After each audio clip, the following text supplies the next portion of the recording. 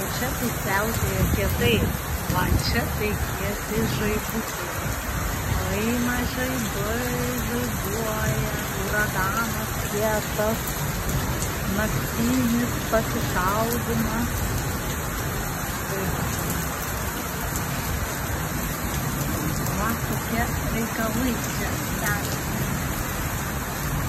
Labai kietai dabar, aišku, po kažkiek laiko e, dings ir elektra visa, visi tai paskui generatorius įsijungia, nu čia jau įdomiai labai Afrikoje būna jau kai žaibuoja, jau kai lyja, tai lyja kietai.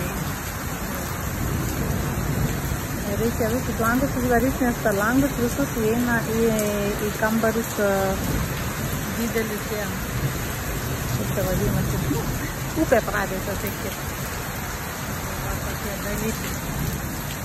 Ką norėjau pakalbėti. Dabar vieną, vieną dalyką tik tai norėjau paminėti, nes um, e, vis irgi pašmirinėjau, pašmirinėjau per internetą ir atradau labai tokį įdomų vieną vyrą. E,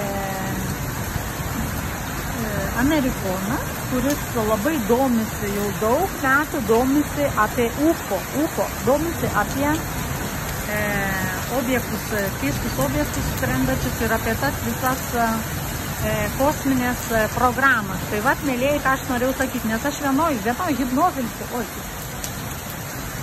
liesasi. Vienoj hipnozėje liktai aš jau esu minėjus, kad man kažko tos kosminės programos nelabai susisieja. Ir iš tos astrolionikos, kaip tenai pasakoja, ir tas e, vadinasi Kerry, Kerry, koks ten jau kaip jau ten vardas, nes nebesimenu. Aš nebesimenu, nes nesistengiu įsi, įsi, įsiminti tos informacijos, kuri man nereikalinga. Bet tas vyras man labai patiko. Po šito video aš jums įdėsiu jo. Kas supranta anglų kalbą, pasiklausykit jo.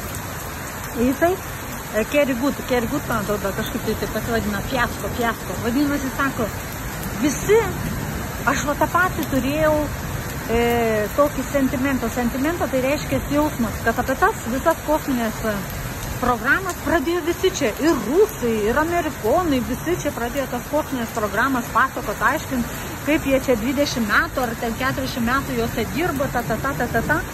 Ir, ir niekas neturi net įrodymų jokių. Nu tai tas vyras ir sako. Tai jeigu tu buvai toj kosminėje programoje ir tu dalyvavai, ir tu matei tas kitas civilizacijas, ne? Tu buvai tenai. Nu tai man, nubražyk nubražyk jų instrumentus, nubražyk jų kompiuterius, nubražyk jų ginklus, nubražyk kokie tenai, ką jie daro, kaip jie atrodo, panašiai, nupiešk kaip, kokias jų formos, kaip jie apie civilizaciją atrodo. O čia supranti, kad paduoti, pateikti kažkokius dokumentus, tai va, būtent jis dėl ko padarė tą, aš paskui sakau, įdėsiu jums tą video, pasiklausyti, kas angliškai supranta. Ir vat, ne, nepasinerkit, kas angliškai ypatingai suprantat, nepasinerkit į šitas visas kosminės programas, ką vat, pasakoja žmonės. Suprantat? Nes pasirodo, čia yra blefukas, čia yra biški New Age, apie UFO, apie visas civilizacijas, ta, ta, ta, ta, ta, ta, išpopuliarėti. O jie iš tikrųjų niekur nebuvo net išlėkę, nei išvažiavę, nei, nei, nei, nei, nei, nei pabuvę. Tai va. Pats geriausias išlėkimas yra tarp kitko hipnozė ir pamatymas tų visų kitų civilizacijų. Tai va, mėlyjei, ką noriu pasakyti. Labai reikia tikrinti informaciją.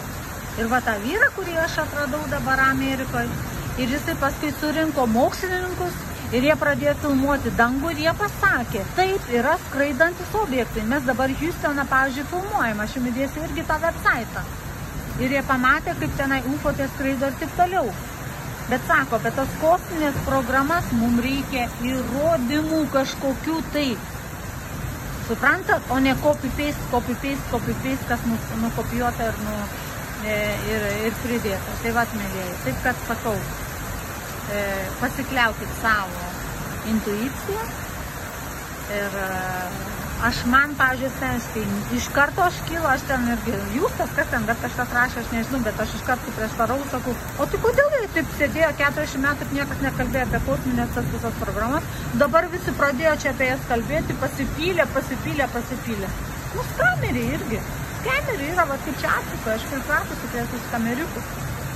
Suprantat? Žmonės nori išpopuliarėti, kažką tai padaryti, kažką apie kažką kalba, šneka, suprantat, ir taip toliau, taip toliau, bet iš tikrųjų negali viso to įrodyti. Nu, labai įdomus toks dalykas. Tai va, jums pasamprotauti, e, pamastyti apie šitą, ką aš manau, va, būtent, e, kad yra tie skraidantis objektai, kad yra kitos civilizacijos, čia viskas ok. Bet yra tos kosminės slaptos programos, viskas ok, kurios susijusios su va, tom slaptom visokiom tai agentais, slaptais, kurie visą gyvenimą čia pas mus buvo ir pas rusus, ir pas amerikonus, ir taip toliau, ir pas vokiečius, ar ne? Bet jie čia dabar neįs ir YouTube nesi, nesiplaikstysis ir nesi, nesidėlios tų savo tenai dokumentų kažkokių oficialių ar taip toliau, ir taip toliau. Tai vad, mėlyjei, pamastykit ir labai smarkiai nepasinerkit, e, klausytis visų šitų pasakojimų, ble ble ble, zlebelionių apie tas kosminės programas. Vat ką aš norėjau perduoti šiandien vakare, ap, būtent apie šitą. Nu ir aišku, nufilmuoti, nufilmuoti šitą visą žubavimą. Šitą visą, o, o, o, o, o, o, kas dedasi, kokios stichijos pas mus dedasi, kaip viskas yra padaryta, suprantat, nu va, va, va, žiūrėkit, kokie reikaliukai danguje dedasi, ne? Va, va, va, va. Nu ir kas čia per elektra, kas čia per elektra, kokie čia instrumentai naudojami, UFO, va, apie ką galvojam dabar, ne? O šiaip grynas oras, tas vietos visam planą dulkas, tai aš čia kvėpuoju. Bet šitos visos stichijos čia yra viskas veikinis, dangus veikinis, žvaigždės veikinis, stichijos irgi. Na įdomu, įdomu, įdomu gyventi šitam seksu prasideda. Tai va, gero vakaro.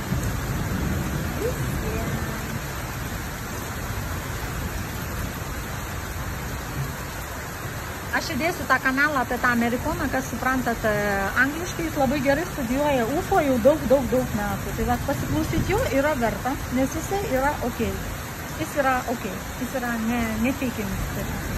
Dėl to ir norėjau pranešti pasidaryti.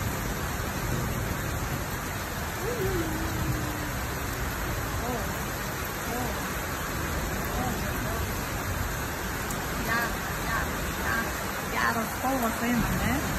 Gerai čia eina elektra, geras. Iš kur eina jinai ir kas čia, kas vyksta, kas čia susidaro, ką mums mokslininkai aiškina pasakoja, tai čia dar nevyksta. Tai va, ok.